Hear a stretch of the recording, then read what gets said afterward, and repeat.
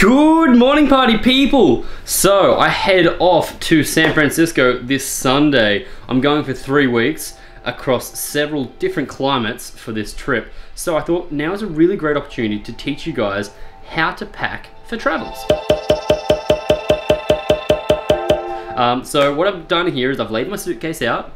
I have not prepped for this at all. So this is gonna actually show you the thought process and how I go about packing uh, for a trip. So as I said, I'm going to several different climates, starting in San Francisco, driving down the coast to LA, heading down to Mexico, uh, there on the west coast, near Puerto Escondido for a few days, then heading across to Tulum for a few more days before heading up to New York for another week. Uh, so it's gonna be both very warm and very cold where I'm going. So means I'm gonna have to take a lot of different options here. I'm gonna show you how I go about packing. Let's get started. Woo! Okay, let's talk essentials. For me, basic t-shirts are essential. I am a messy, messy human. So when traveling, I like to get cheap, easy basics I'm not worried about. I've gone to Kmart, which is an Australian store for those of you aren't here. Each one of these t-shirts cost me, I think, six to eight dollars. And I've just gone for a grey, two whites, and a black. These are gonna be my staples for the trip. I'm gonna base a lot of my outfits around those. So as I said, I've gone to a few different climates, so I'm not gonna keep things uh, too heavy in the t-shirt department as I can kind of wear a few like cut-offs over a few days. I've also had to pick pack an outfit for the wedding. So, you know, guys, you guys know I love band t-shirts. I've grabbed two little cut-offs here. I've got one short sleeve and I've got two long sleeves here. This one is part of the new JW Anderson collection, which you can check out the video on that up there. Up there? Yeah. And then this is just like a waffle knit um, layering piece here.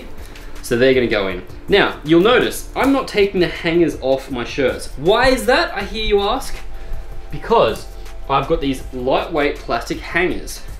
And when traveling, I like to keep them on. I lay flat, I halve, and I halve again. That's how I hang or pack my shirts. So that when I get straight to anywhere I'm going, I just hang them straight up on the rack.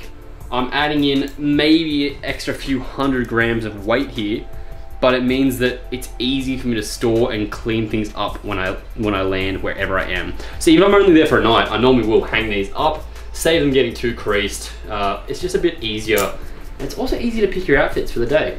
There's my travel hack number one. My next travel hack for you is getting yourself a lightweight down jacket like this one right here. Again, this is from Uniqlo. I know I look like I'm doing this as a sponsored post. I'm not, I just genuinely like the product. So, the beauty of this jacket is, it's insulated because it's a down jacket. It has a bit of water resistancy because it has that coating on it. But the beauty of it is, this thing folds down so tiny. So you can see that I've just folded in half, fold the sleeves in. Now I'm gonna compress and roll it, squeezing all of the air out of it.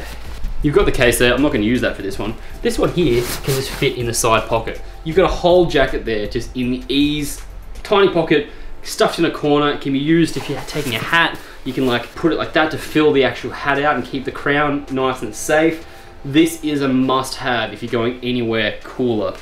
Travel hack number two. All right, next up I'm packing board shorts.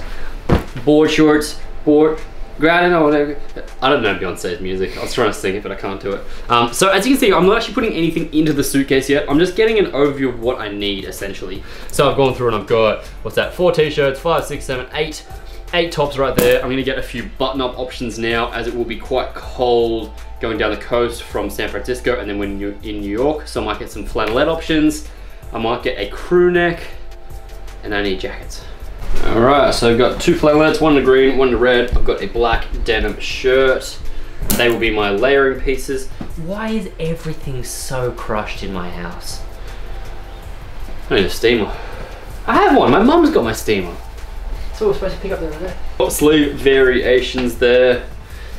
And that's gonna do me for my tops. So, you can see here, that's all laid out nice and flat. The next thing I'm gonna need is bottoms. The beauty of bottoms is you don't need too many options. So I'm gonna go with probably two pairs of denim, two or three pairs of trousers, and then I think only maybe one pair of shorts because I'll be wearing board shorts or a lightweight chino option, I think, in Mexico. So, I'm gonna grab them now.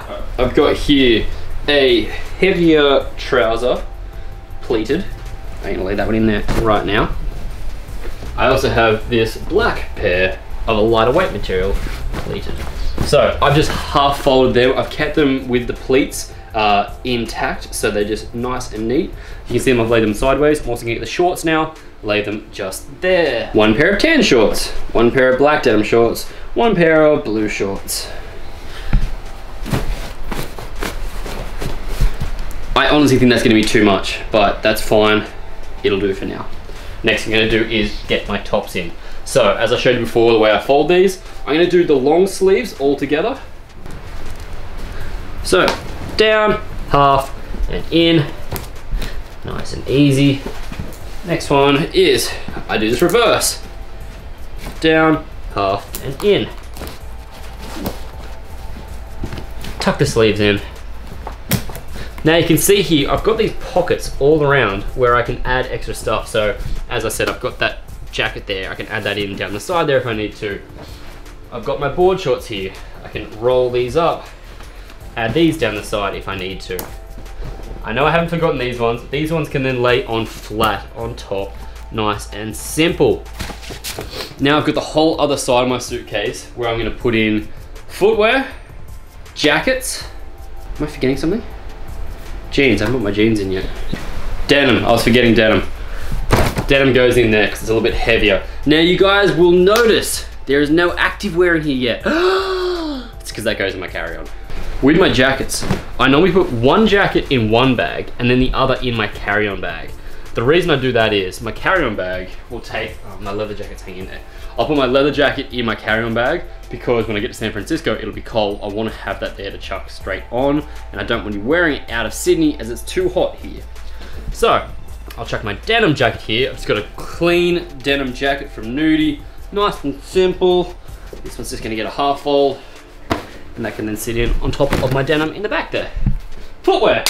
So footwear is an important one. I love my shoes. My plane shoes, I'm actually wearing right now. This is what I'll be wearing on the plane. Um, just the sock racer here is so comfy. It stretches as your feet swell up, so it never gets uncomfortable. I need to get some basics. I'm gonna need Converse, Vans, sneakers, and a boot. Converse, Vans, sneakers, and the boot. I, I did get both pairs. Um, so with these ones, I'm trying to keep myself covered for every option here.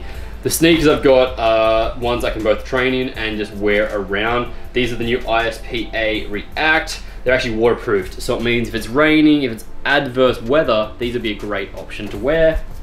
Then I've got my classics. I also train in both Vans and Converse, as you guys should know by now, so that's an easy one. Now with the shoes, I'll also pack these separately. I'm not gonna put them all in the one suitcase. Boots are in, Converse are in. These two are gonna go in the other bag. The reason I do this is one, again, if something happens and one of my suitcases goes missing, I've got another option for footwear with me. It also means I'm taking the weight out of this one a little bit more. Now, toiletries. You already packed it.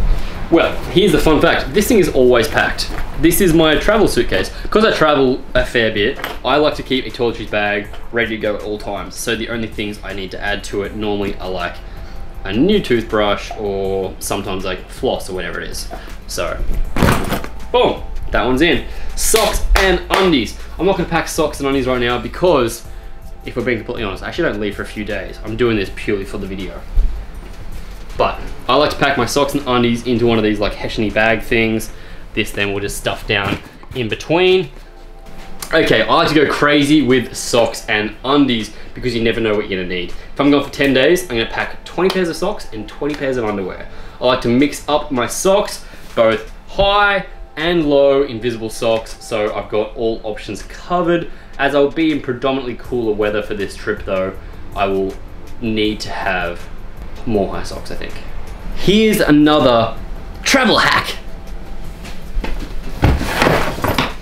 I also travel with this super lightweight uh, duffel bag. This one's by Rains. I bought this in Paris last year. The reason I bought it was because I went too shopping crazy in Paris and needed an extra bag for the way home. I always make sure whatever my travel allowance is when traveling, I go one bag under that so that if I do want to pick up pieces along the way, I can bring them home. This is lightweight, it can just lay flat in my suitcase there in between the layers and that means I've got an extra bag so on the way home I can actually fill it up and have that one with me. Travel hack. I think that's gonna do for today guys. Other gear, like my camera stuff, that stays with me in my carry-on to make it nice and safe. Um, I'm not gonna go into details with that. If you wanna see more, if you have other questions, hit me up on Instagram, at isnathan. Make sure you follow me there. Subscribe to the channel, give this video a like, tell your mum I say hi. I'll see you guys next time.